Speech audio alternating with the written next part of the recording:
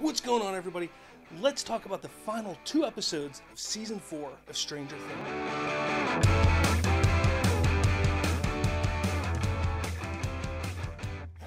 Now, if you happen to have watched my review on the first seven episodes of season four, you'll know that I wasn't a big fan of what we've gotten so far. From the slow pace and the filler, I have to say that this might be my least favorite of the season so far, but that's not to say that it is a bad season. No, there's a lot of good that happens in these episodes. I do really like the way that they're pushing the story forward and the different aspects and the twists and turns that we've gotten. My biggest issue comes from just how they told the story on them separating everybody because it, to me, I feel that these characters work best when they're together. and with them being separated like they were, things like Will and Mike's story and what's going on with them trying to find Eleven just seemed kind of like a throwaway storyline that we didn't really need to see and was really drawn out for no real reason at all. You have the Hopper stuff over in Russia, which I don't think they needed nine episodes to show that rescue and finally escape that prison. It just, to me, it felt like it was just overdone. The heart of this season, though, really falls with the cast and crew that are at Hawkins. Everything that's going on there is really what is interesting and exciting about this season. If you take away the other things, the other side stories, and focused more on that, I would give this an A plus, A plus plus, if you will. This show could have been, or this season, I should say, could have been fantastic, but it was bogged down by the unnecessary and pointless filler stories with the other characters. Besides that, I do have a couple other issues. One of being that they played it safe. They really tried to play this series or this season safe these characters have been great, especially the ones that started in season one are still there today. They've been great thus far. But every season where we're seeing this danger, we're not seeing any ramifications of that danger for us to all get frightened and scared of what could possibly come.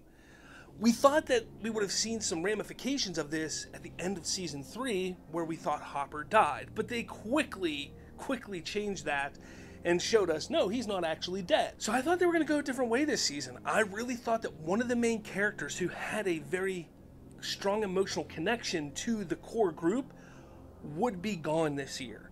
We would see someone die and really just ramp up the scariness of this upside down. But no, they played it safe. We don't know the ramifications of what happened to Max. Yeah, she did get all mangled and was blind and then did die and we saw Eleven bring her back, or did she bring her back? You see, there are some weird things there that are going on.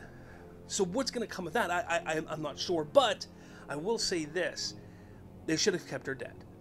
And even though I think that would have been the least emotional character to kill off, it still would have had some emotional impact on the rest of the cast. The fact that she's not dead and we don't really know where she's at, really doesn't have that same impact and hit us as fans or even the cast or the characters, you will.